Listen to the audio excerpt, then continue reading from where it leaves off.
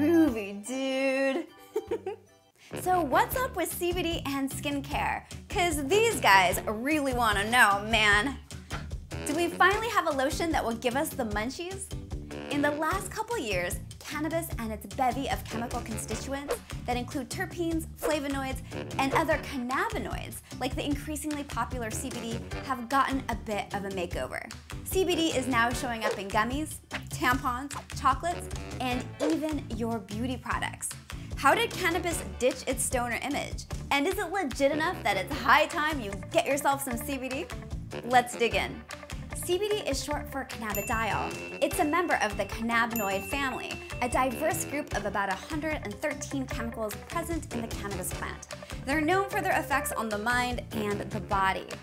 To the disappointment of many, CBD won't get you high like its more well-known cousin, THC. Although both have the same exact molecular formula, 21 carbon atoms, 30 hydrogen atoms, and 2 oxygen atoms, a slight structural difference in how the atoms are arranged accounts for the different effects on the body. CBD contains a hydroxyl group, whereas THC contains a ring. This means they bind to different receptors and yield different effects. Okay, that's great, but cannabis contains both THC and CBD, right? So why haven't the police thrown your butt in the pokey for using your CBD-infused skincare cream? Well, because not all cannabis is created equal. There are different varieties with different usages and chemical compositions. Think of it like apples. You can buy a Fuji, Braeburn, Granny Smith, or an iPhone. Hey, I'm on the phone. All are apples, but different varieties.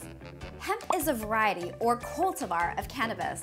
Yes, that's the same one that produces marijuana, but in the US, hemp comes with a legal definition. It can have no more than 0.3% THC, which is why hemp-derived CBD products have exploded in beauty.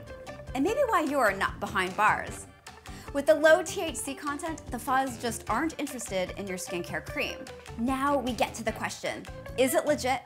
I mean, I'm not saying Snoop's youthful appearance is because of weed, but you gotta admit, the D-O-double-G has some great But skin. We've seen a whole arsenal of marketing claims, but are they true? Let's talk about how CBD actually impacts the body, specifically skin.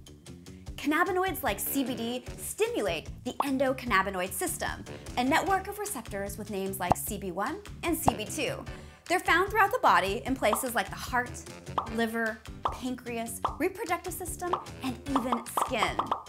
So why do we have these receptors in our body? Because, surprise, we make our own internal version of cannabinoids with names like anandamide and AG2. They call them endocannabinoids, and they participate in numerous essential biological processes like pain, inflammation, and immune function.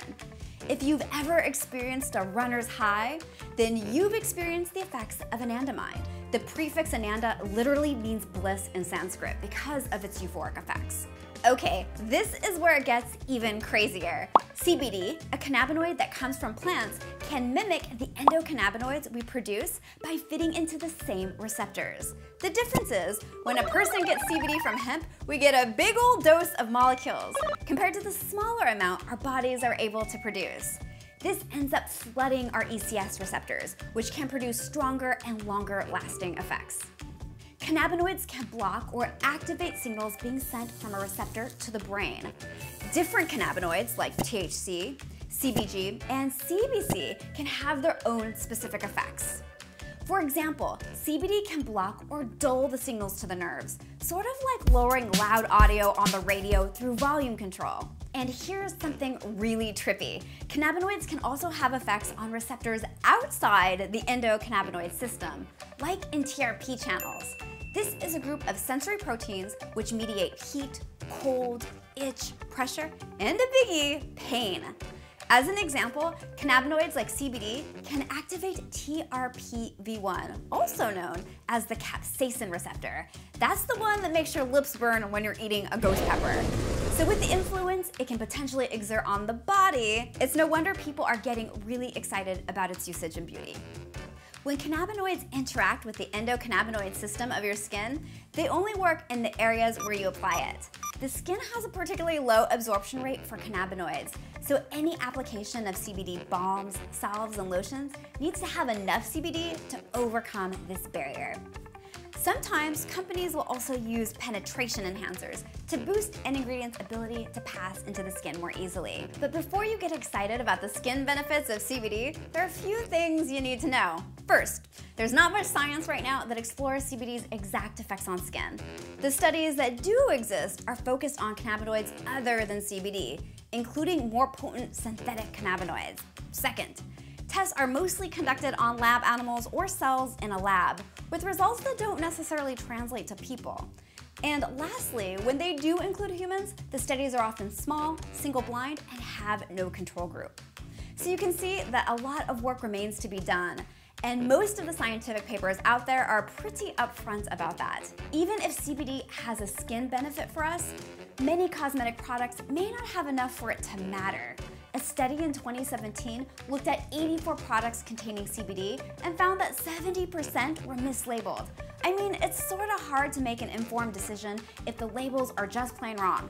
Aside from a cannabis-derived drug named Epidiolex, the FDA hasn't even approved any medical uses of CBD. We don't know how much is appropriate to treat certain conditions, and there are still a bunch of questions about quality control. Also, a CBD cosmetic can't claim to treat anything. Cosmetics have their own legal definition, and the FDA has already delivered the smackdown on 22 companies that have made misleading medical claims. The amount of harm your CBD skin cream is going to cause is likely very low. So I'm not saying don't use it, just have realistic expectations and keep an eye out for products that make promises they can't deliver. We still have a lot to learn about cumulative long-term effects. What happens if you eat food with CBD in it, use CBD-infused skin cream, and supplement all in the same day? What if you use these products daily for a month, or even a year? These questions still remain unanswered. What about you? Using anything that contains CBD? If so, I'd love to hear from you because in the next video, we're gonna talk about how to avoid some common pitfalls with CBD skincare and explore some products that I'd try myself.